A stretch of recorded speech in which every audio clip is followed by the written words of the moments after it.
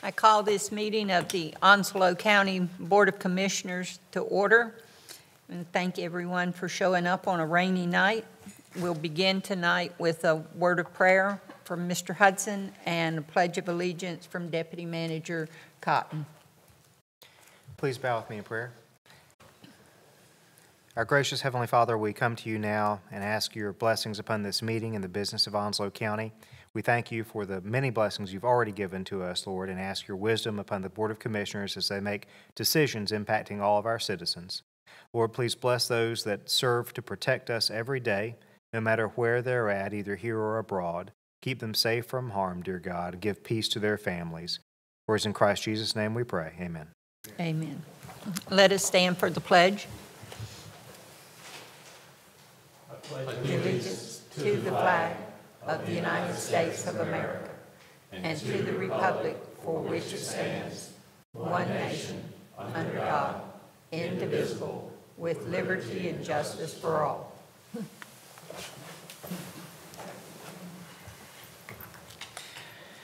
Once again, thank you for coming tonight. Uh, Thank you, Sheriff, for being here. If you have not turned your uh, phones to vibrate or off, please do so now. The board affords you two opportunities to speak at public comment.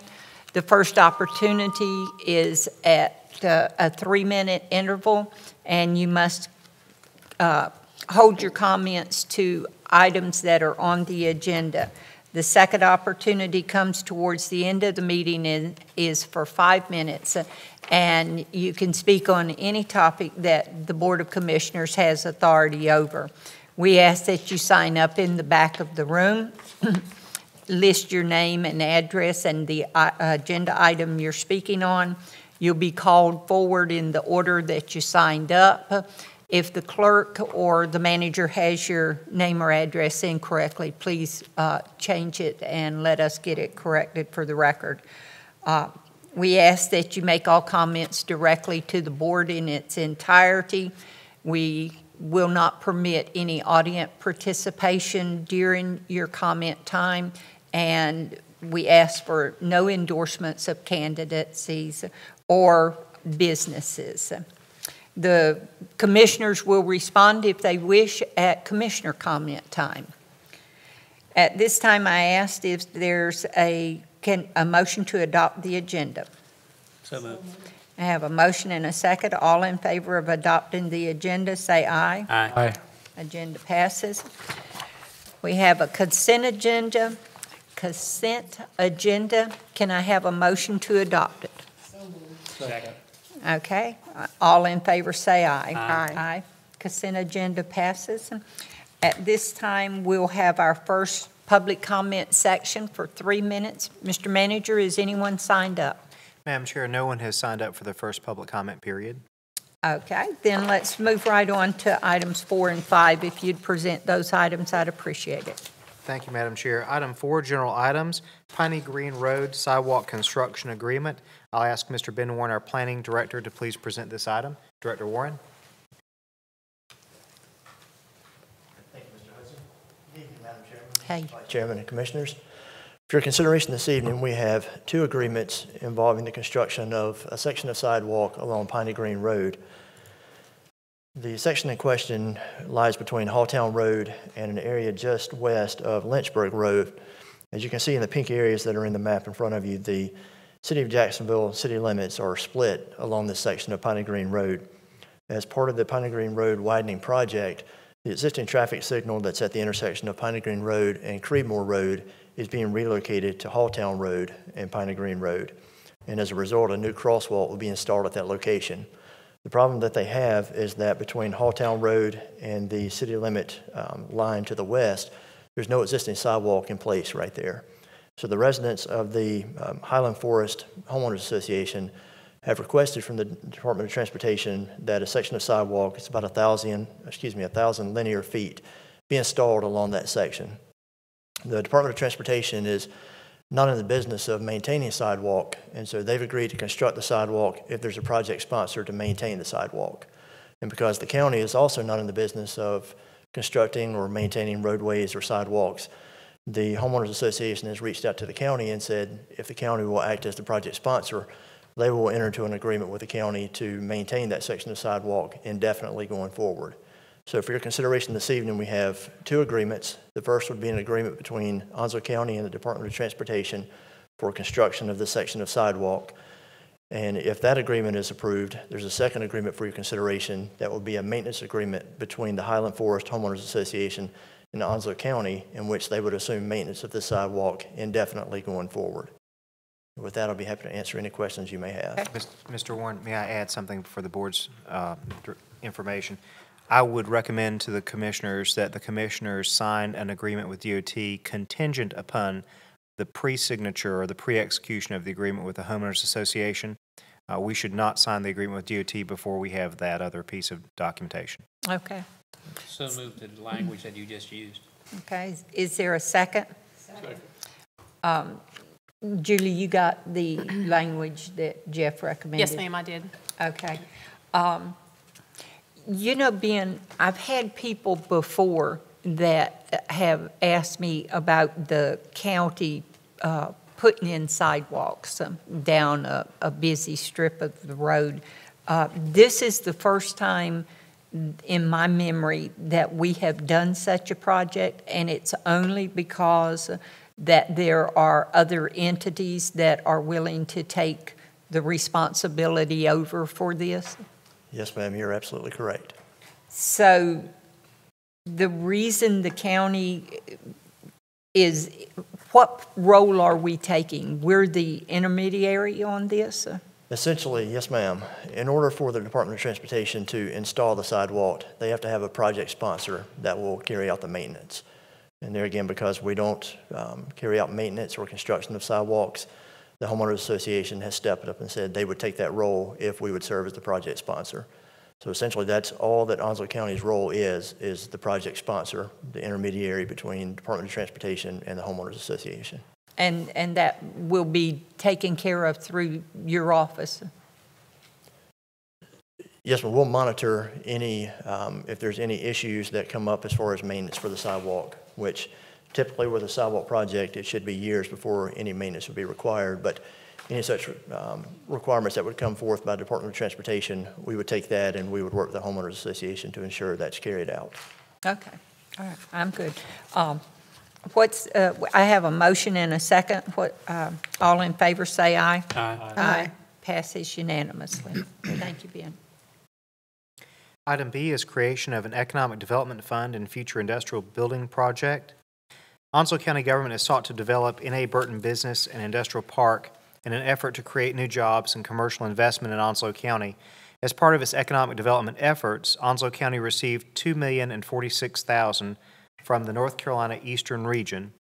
Uh, As I pause here, I would like to say that uh, Vice Chairman Buchanan served as uh, the Board of Commissioners representative to the North Carolina Eastern Region, and then the North Carolina Eastern Alliance, and represented the county's interest in bringing that two million and forty-six thousand dollars back to Onslow County. This money is specifically earmarked for economic development efforts. In addition, the county received over 1.2 million in North Carolina rural economic development funding to open access to large industrial areas of Burton Park. Recently, Jacksonville Onslow Economic Development Incorporated has offered to donate $250,000 in private contributions toward a future industrial building. In an effort to create better processes around economic development funding, the board is asked to create an economic development fund within, inside of, if you will, the county's general fund. Further, to designate that proceeds from future sales of property within Burton Park for business and industrial use would accrue to this new revolving economic development fund, which once again is inside the county's general fund. In addition, JOED, Jacksonville Economic Development, has proposed a public-private partnership to build a future industrial building along the roadway that's going to be constructed inside Burton Park using North Carolina Rural Economic Development funding. The building would be between 25,000 and 30,000 square feet and with 28 to 30 foot ceilings. And the actual um, preferred building would be a 30,000 square foot building with 30 foot ceilings. However, until bids come in, uh, we're not quite sure where bids would come in, so you don't know quite how much money that would cost. And, and there is an, an upper limit to the amount of money that JOED and the county could fund. Uh, The proposal is that the Board of Commissioners use at least that $250,000 in pledged private donations from JOED and cash pay the remainder of construction using existing earmarked economic development funding originally received from North Carolina's Eastern Region. There would be no borrowing for this construction project. And specifically, the money to be used for this cannot be used for any other type of expenditure. It has to be 100% economic development use. It came from the license plate tax uh, back when there was the Global Transpark and, um, and everything that, that citizens in the Global Transpark area contributed to that. Uh, Right now, we do have Mr. David McCole in the audience who is available, our Onslow County Finance Officer, could answer questions about any project budget ordinance. And we also have Jacksonville Onslow Economic Development Chair- Chairman, Mr. Ed Garris, who is available to present the JOED request uh, for the need for a future industrial building. It should be noted that the construction numbers within the project budget ordinance are estimates only pending bid openings. The total project cost is currently estimated at one million four hundred thirty-four thousand nine hundred and twenty-four dollars. The specific action request of the board, uh, following any questions the board might have, would be to adopt a resolution, which has been provided to the board, that establishes a revolving Onslow County Economic Development Fund within the county's general fund, as well as a project budget ordinance to create a new future, future industrial building in N.A. Burton Business and Industrial Park. Uh, Madam Chair, with that, I would ask uh, if the board has any questions, or specifically if Mr., if the board would like to hear from Mr. Ed Garris about uh, the JOED contribution of $250,000. Okay. I'd make a motion. You, uh, hold your motion. Uh, You'd like to have a presentation by Mr. Garrett? Not so much a presentation, but the quick question that I have, and Uh, Jeff, Let him take the podium if it, Mr. Ed Garris. Good evening, sir. How are you? Thank you for having me. Good. And, and this is a very quick question. I just was wondering, i- is this the first time that, ec- that the request for Economic Development Fund, as far as a- that be part of the general fund, is this the first time this type of request has come to the board? Yes, ma'am, that I'm aware of. That's correct. That was all. It was just a very quick one, and I, Mr. Garris is accurate. Yes, ma'am. thank you, sir. I I would say that the, the funds from um, the North Carolina Eastern Region, they are already in Onslow County's budget, and they are already earmarked. What's kind of new and unique about this is that you would take those earmarked funds plus the donation of 250,000 or more, if JOED would, would care to contribute more, just saying We're committed. um, to, to set that aside inside the general fund as a revolving fund. So what's really unique is that the board is saying, this money has to be used for economic development, and we, we could use that to put a future industrial building on, and upon sale of that building or other lots inside Burton Park, it would roll that economic development money over and over again into the future. Um, kind of like you've done with the disaster contingency fund. You have $5 million in the county's general fund budget in case there's a disaster, and you just let that sit there and don't touch it for other things. okay, okay, can I have a Motion motion? to adopt the resolution. A second? Second. Uh, I'm going to, I'm going to play devil's advocate here just for a second. Um, Mr. Hudson, anytime that you mix pots of money, you run into the, the problem that one pot spills over into the other. Uh, Do we have safeguards? I know we've done this before, but just to alleviate any concerns that the public might have, that once we get this money into the budget, tax dollars are going to be mixed in with it. Well, right now, um, the money is already in the budget except for the $250,000, which would be a contribution. Uh, I would imagine that the $250,000 would be presented to the county as, as has been discussed in negotiations in two separate, at two separate points in time. Uh, one point at which permits are issued for a new building, and secondly, when the punch list items for that building have been completed. So in two equal installments, the funding would come from JOED to Onslow County earmarked for this one particular project. It would be the job of the Onslow County Finance Department to make sure that, that that money is spent for only that purpose, and it is already the job of the Finance Department to make sure that the um, North Carolina Eastern Region funding is only used for economic development purposes. Uh, Beyond that, uh, Mr. David McCall, our Chief Financial Officer, is in the audience, and I'd ask him to come to the podium. So the funding, as it came back from the investment, that would automatically go into this separate fund also? Yes, ma'am. Under the terms of the resolution, which is the will of the county, uh, Mr. McCall and his office would have to take the proceeds from the future sale of that building or from current sales of lots and place it inside the general fund in an economic development fund. Uh, Mr. McCall, would you like to elaborate on how you would be doing that? Oh, I think you summarized it. It would be on our financial statements at the end of the year. We would track it uh, separately within our general fund, and then it would come, it would appear on our financial statements as, as a reserve for economic development each year, whatever that balance was. Say you, you, you put the investment into the building, you turn around and sell it, the the proceeds we receive from the building would be bookmarked, would be earmarked for uh, future economic development, and it would be tracked, uh, you know, separately from the other funds but it would collapse into our ultimate general fund financial statements at the end of the year. But it'd be a reserve section of our fund balance. So this is something that we've done often before with having funds within the general fund. Um, So it's not some strange or created monster that's never been tried before. No, it's not. It's not. Like, like uh, Mr. Hudson was referring to before, the disaster contingency is earmarked separate within our general fund. So it's kind of the same type of mechanisms that are in place.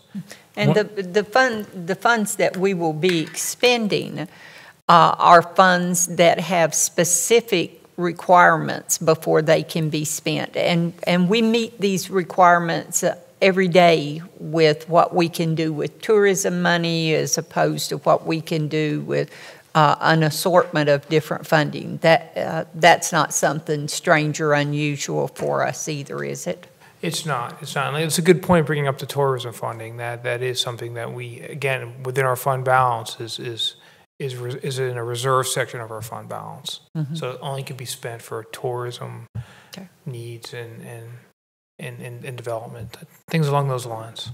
Okay, okay. I got one, the, the money that uh, economic development is putting in the $250,000 towards this project, that, that money becomes part of that fund also.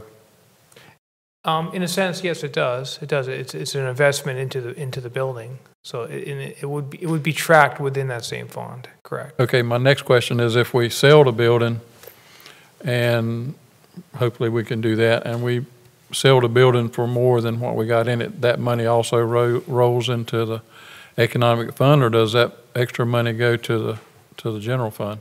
No, that it, it, it would it would be roll o- over into an economic development fund. Okay. Any further? All in favor, say aye. Aye. Aye. Passes unanimously. Thank you. Item C, interlocal agreement to study hardened structures in New River Inlet. During the June 13th Board of County Commissioners Budget Workshop for fiscal year 17, the town of North Topsail Beach presented a request for $250,000 in matching funds to conduct a study of permanent hardened structures at the north end of Topsail Island in the New River Inlet. The Board of Commissioners indicated that all options relative to protecting navigation and shorelines should be studied. The board indicated that a written agreement that sets forth the will of the county be drafted for consideration prior to any commitment of funding. During the June 20, 2016 Board of Commissioners regular meeting, the Commissioners unanimously approved an interlocal agreement which was forwarded to the town of North Topsail Beach for their review and consideration. The town of North Topsail Beach approved the interlocal agreement during their July 26, 2016 meeting, and then subsequently forwarded it back to the Onslow County Board of Commissioners. The specific action requested is to accept the fully executed interlocal agreement and authorize the chairman and finance officer to approve the necessary budget amendments to fund the county's 50% of the study exclusively from tourism fund balance. And uh, specifically, um, Commissioners, although not written in that specific action requested, I would say that the board had not previously agreed to any amount over $250,000. So it's not 50% of anything. It, it would, based on the interlocal agreement, be 50% not to exceed $250,000 or $250,000. Yes. Pleasure of the board. Do I have a motion? Motion, so moved. I'll sec, I'll second it, but I, I got a couple got questions, questions. Okay, well, let's have some discussion. I just wanted, the, the agreement that we sent to North Topsail Beach was agreement that they had to agree totally on what the, uh, contract was or the, uh, agreement between the county and North Topsail Beach. It didn't change when it come back, it's the same, isn't it? Yes, sir. The town of North Topsail Beach considered their agreement in their last workshop, and they did not change any wording of the agreement that was originally sent to them. And- I want to make sure that when we talk about hardened surfaces, that we, we, we, that they are studying every one of the hardened surfaces, not just terminal groins or jetties or some other type, um, structure that prevents erosion. I, I think that's in our agreement too, that they study all, all the options. Yes, sir.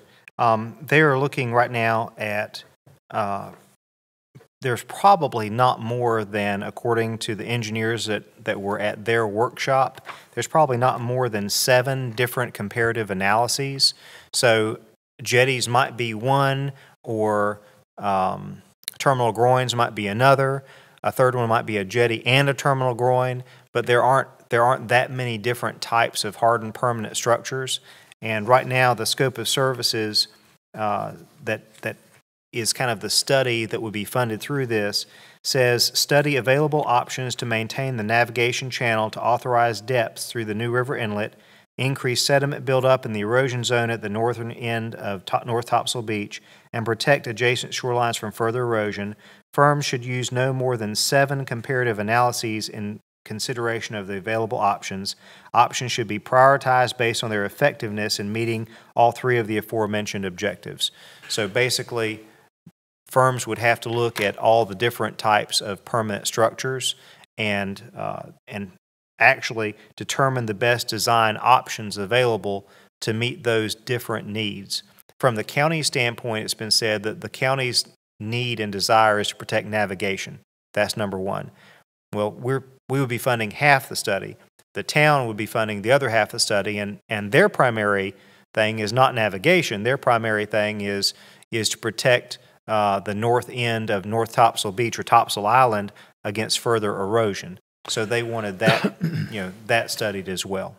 Well, I, I, um, I agree also, but there's two things that we, we, we're looking at. One is navigation of the inlet because of, uh, commercial and recreational fishing, but one other big player in this that we should be looking after, and we got state support on that, is protect the training mission of our government getting in and out there too. So that would be what I'd like to hang my hat on is the study showing what would be something that would fix not only their problem, but fix our problem and also the, the, uh, Department of Defense and getting in and out of the inlet.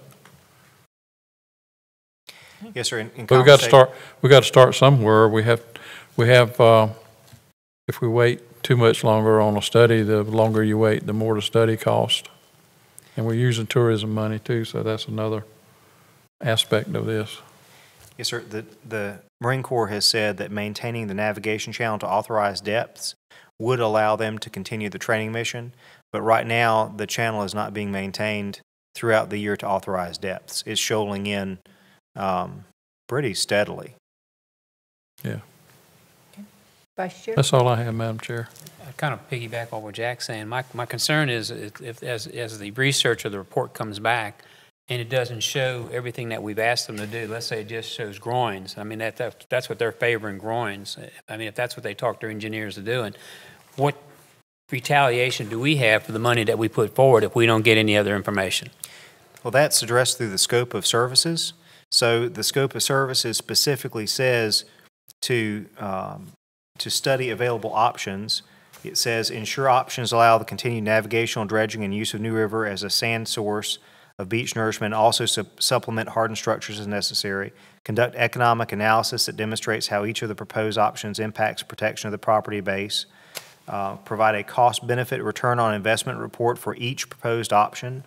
Provide detailed report of anticipated cost of annual monitoring, ongoing maintenance, uh, determination of the best design option to promote navigation of the New River and protect shoreline from erosion. Manage all studies, reports, communications to determine the best design option. So it's, it's actually inherent in the scope of services that they are supposed to study more than one thing. Um, Because that's the, that's, to me, the entire thrust of this. It is, we have to know what is the permanent solution. And simply the town talking about a terminal groin does not necessarily mean that a terminal groin is what's best for navigation. It could be something else. Well, see, I'm going to do what Barbara said a while ago, be the devil's advocate. Suppose they say, well, you know, we both notice, all of us notice, that jetties are illegal. So they could come back and say, well, it's illegal, we're not even going to do any research on it. I know it says there, but I'm telling them, if they come back and say, well, it's illegal in the state of North Carolina to have jetties. You know where I'm going, Jeff? Yes, sir. And I appreciate our county attorney for, for, um, seven? Agree to desired result. The parties agree, this is from our interlocal agreement. The parties agree that the desired result from collaboration on the study would be for all of the parties to work together to further accomplish the objective of maintaining the navigation channel through New River Inlet to authorized depths over the next 50 years and protecting existing shorelines.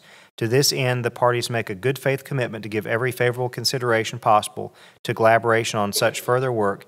However, however, it is understood that no party is obligated to continue in any project which might be suggested by the results of the study. Thanks, Neil. Any further? I'm good. Okay. Million, you got anything? Uh, I'll just make a statement, uh, unless it's incorrect, Jeff. uh, I don't need a reply. And my statement is that this has been a reoccurring problem for generations. And at some point in time, you have to stop nickel and diming it and get the professionals to uh, study it and tell you what it is that is needed to solve it. And then if you choose to put that on the shelf and do nothing with that study, that's up to you. But at least you've been told what the problem is, you've been told how to correct the problem. But the way we are right now with everyone going in different directions and focusing in on one aspect of the problem is getting us nowhere except in each other's way. So with that, I appreciate the, the board's motion and second, and I'll ask, um, all in favor say aye. Aye. Aye. Passes unanimously. Item five, appointments. Parks and Recreation Advisory Committee, A. Mr. Andy Underseth's term expired on June 30, 2016. He wishes to continue serving. Before the board is the possible appointment of Mr. Andy Underseth for the Swansboro category with a term expiring June 30, 2019. Uh, Board's pleasure? Second. Okay. All in favor say aye. Aye. Aye. Passes unanimously. B, Onslow County Planning Board. Do- uh, Mr. Don Beasley, uh, Stump Sound Township Representative's term expired on July 31st, 2016. Mr. Beasley does not wish to be reappointed, thereby leaving a vacancy. Mr. Jack Sides has expressed a willingness to serve and has submitted a citizen participation application for the board. The specific action requested is consider the appointment of Mr. Jack Sides, Stump Sound Township category, for a three-year term expiring July 31st, 2019. So moved. Second? Second. All in favor of Jack Sides, say aye. Aye. Aye. Passes unanimously. Thank you. Um, That concludes the appointments. No items were pulled off of the consent agenda. This brings us to our second public comment. Madam Chair, there's no individual signed up for the second public com- comment period. Okay, then that brings us to manager's comments. Madam Chair, just one comment. Uh, This evening, I'd like to welcome Crystal Bennett, who is not new to the county, uh, and certainly well-known to the Board of County Commissioners. This evening, she joins us for the first time as the Director of Human Resources. And Ms. Bennett, we appreciate you coming and uh, would like to congratulate you on your new role. She started at 8 o'clock this morning in that role. That's all I have, Madam Chair. Thank you. Okay, thank you, and welcome, Crystal. Um, Commissioners' comments, and I'll start with Ms. Williams. Well, Madam Chair, I'll make this very brief because it is nice to have a brief, uh, brief uh, meeting this evening, I will say to the public and to my counterparts here. Uh, Crystal, I look forward to working with you. I know that you will do a great job. Uh, I know you've had great training in front of you, and um, looking forward to you continuing to uh, work as the HR director, and I wish you the best. And Madam Chair, I'm making this brief. I'm done. Okay, that's good, cut it off. Uh, Jack? Just uh, congratulations, Crystal, for your appointment. Uh, I know you do well. You've been doing that job all along some anyway, and you had a good person that was helping you get trained for that position. I, I see that our animal shelter director, Howard, you've had your hands full already this weekend, and looking forward to you getting your feet wet some more. Other than that, uh, I don't have anything else. Sheriff, I need to pass some information on to you before we leave tonight. Thank you. Okay. If you can't share it with all of us, don't even bring it I up. can't share, I can't share it with you. Vice Chair? Crystal, congratulations. Thank everybody for being here, and good night. Okay. Uh, I don't really have any comments. Crystal, you know I, I've got all the confidence in the world that you'll do a good job. Megan, you couldn't have asked for a, a better teacher. So with that, I'll ask for a motion to adjourn. So moved. Second? Second. All in favor, we're adjourned.